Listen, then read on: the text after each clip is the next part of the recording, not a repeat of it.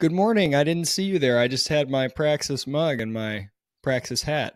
So, in my last video, uh, I talked about the value of sticking with something, sticking with that first job for a few years. And, you know, not only that you learn additional skills, but that that signals to other people that you're somebody who's capable of sticking with something and you're kind of seasoned a little bit. You've got that ability to persist that's really hard for people to to tease out in other ways. So, you know, I wanted to just talk a little more on that and talk about maybe what to do if you feel like you don't have or are not capable of, you know, signaling your persistence by something like, "Hey, look, I did this for 2 years." Uh, by the way, this is this is one of the things. So, you know, we talk a lot at Praxis about the fact that you need to understand what college is as a product to be able to make a good decision about whether it's a product worth purchasing. And the product is the signal, right? It signals to employers that you have a certain level of, you know, expected certain level of skill, ability, et cetera. And it signals a couple different things, but one of those is just your ability to do something for four or five years. And seeing that it's like, okay, well, I don't know a lot about this person, but they did suffer through college for four or five years. So maybe they're not going to jump ship right away, right? That's a, that's a small part of what employers are looking for, but it's a little thing that factors in. And whether it's college or something else, that's one of the things that matters for certain types of jobs, especially. So, what do you do if I mean in your first job, you know, the first professional opportunity, especially if you're doing something like Praxis, you're, you're opting out of college altogether and saying I can build a better signal, you know, how do you send the message that you have persistence? Well, one of the things that we do is a 30 day blog challenge and participants say, I'm going to blog every single day for 30 days. Now you may say, well, that's only 30 days. It's not so much about the time as it is the difficulty. Doing something, something publicly visible every single day for 30 days is actually really hard, especially writing, blogging. And that gets a little bit at that hey, look, I committed to do this. I said I would do it, and I did it every day for 30 days. I'm able to stick with something, even when it's not fun, even when it's boring. Or let's say you've jumped around and you have been somebody who's been bored two to three months into every job or whatever, and you've jumped around and you've got, you know, all these different experiences that were very short lived, especially if they're career experiences.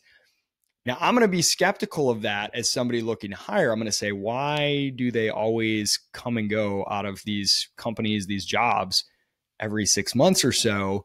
That's kind of a red flag. If your signal tells one story, then what you've got to do, if, you, if, if people from the outside say, well, given these sort of objective facts on your resume, I'm going to assume some things, or it's, it's it's leading me to believe that you're probably maybe somebody who's flighty or can't stick with something, whatever. If that's not true, but your signal says, you know, makes it look that way, you've got to own that narrative up front. That's the best way to deal with that. Doesn't mean that you're going to for sure, you know, convince people, but if you say, look, I get it. Look at my resume. I've had, you know, well, hopefully you don't have a resume. Resumes are total boring really really low low end way to signal your value but we'll get into that maybe in another video. But your you know your your linkedin profile whatever your your pitch deck if you do something uh, like that. And you say look yeah i've hopped around to jobs but i have a reason for that. Let me give you let me give you my story. And not a justification but just owning it up front i mean it's the same with a low level of skill. Hey i have no previous experience in this I'm, I completely own it. That's what makes me so excited. I can't wait to build that experience. Nothing makes me more eager. I'm genuinely interested in it. You know, look, I have hopped around. That's exactly why I'm ready to commit to something. I'm, I'm done exploring, hopping around to different stuff. I thought it would be cooler than it was, you know, and uh, in retrospect, I think I would have been a lot better served to focus on something.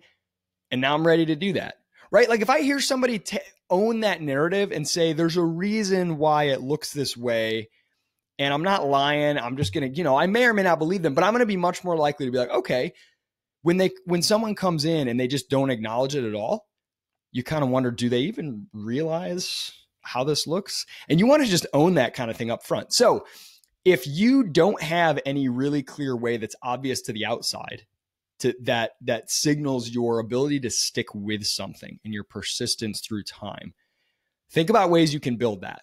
You know, think about longer term challenges. Think about even something like running a marathon. I ran a marathon, the training required for that, you know, all the things that require sticking with that commitment. Think about ways to build that. You know, sticking with a job, even if it's a job that's totally like you you think low of it, you know, don't think low of any job first, but something that you don't see as having a bunch of upward potential. You know, you work at a at a restaurant, fast food or something like that even that can be used. Hey, look, I needed to save money. I stuck with it. It was not a fun job. I did it for, you know, but try to build signals. But if you don't have them, get your narrative right. Cre- understand like, how is this going to appear to others? And how can I own that up front? And how can I honestly, without lying or fudging, explain here's who I am. Here's the reason it looks this way. And this is why I, I think this is actually an asset for me going into this role, not a liability. And uh, sometimes that can that narrative if it's truthful can help people overlook what would otherwise send them signals that they may be a little concerned about. All right. Talk to you on the next video